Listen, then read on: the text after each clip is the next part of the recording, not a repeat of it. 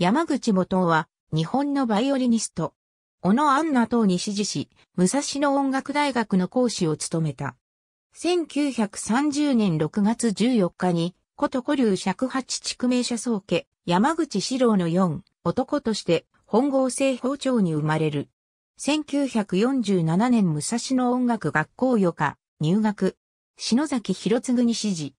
1949年武蔵野音楽学校が音楽大学に移行。小野アンナに指示。1954年同校を主席で卒業。この頃より NHK テレビラジオへ出演し、演奏活動を行う。1955年、高安貞義と結婚。1965年母校、武蔵野音楽大学の講師となる。1968年に S 名にて、現代日本における法学機の能力の拡大を発表。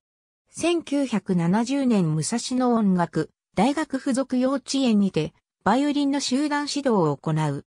1971年ドイツのハンブルクへ留学。ウィルフレッド・ハンケ、ヘンリー・ホールストに指示。保育学会にて幼稚園における保育の一環としてのバイオリン集団指導教育の試みを発表。音楽の友社発行のレッスンの友にハンブルク大よりを寄稿。1972年長野県佐久市の定正寺にて、門下生を伴った演奏合宿を始める。1973年長野県佐久市にて、サマーコンサートを始める。1977年伊豆定心病院で自閉症児に出会い、音楽による発達障害児の治療教育を考える。1980年日本弦楽指導者、協会理事長に就任。1981年、伊豆定心病院小児リハビリテーション科講師を務める。